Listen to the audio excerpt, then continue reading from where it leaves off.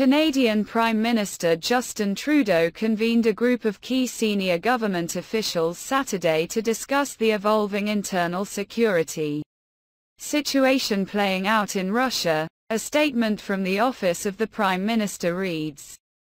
The Incident Response Group discussed ongoing coordination with international partners and assessed the implications for Canadians and Canadian personnel, the statement said.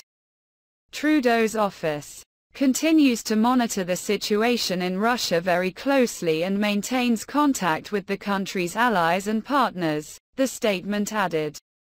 Canadian Prime Minister Justin Trudeau convened a group of key senior government officials Saturday to discuss the evolving internal security situation playing out in Russia, a statement from the office of the Prime Minister reads.